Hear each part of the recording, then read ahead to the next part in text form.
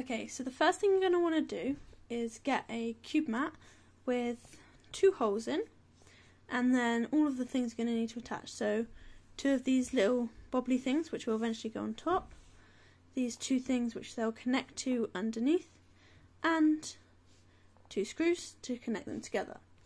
For this, because they're screws, you're going to need a screwdriver, and of course, your timer. So, you're just going to want to set your timer aside for the time being and get your two little connector thingies. So the first one is just going to go under this side and you should see it pop up through this hole any second. There it is, so you can see a little hole in there now. And then if you get one of these, it should kind of click on top. Yep, there it goes.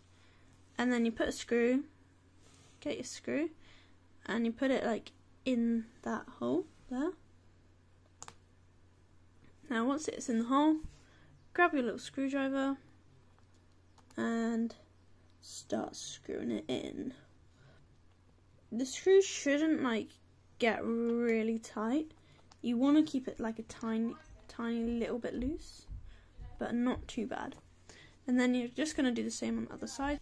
Okay, so now both sides are on. They're both on pretty nicely, I think. A little bit of movement, but not too much. What you're going to do, get your timer, see where the big holes are, so they're on the further side. So you just put them over, and then because they're on this side, you're going to want to push it that way. There, so now it's all locked in, as you can see. Just holding it by the timer, and it's still connected. And then you can turn it on, and timer should be good to go. Thanks for watching.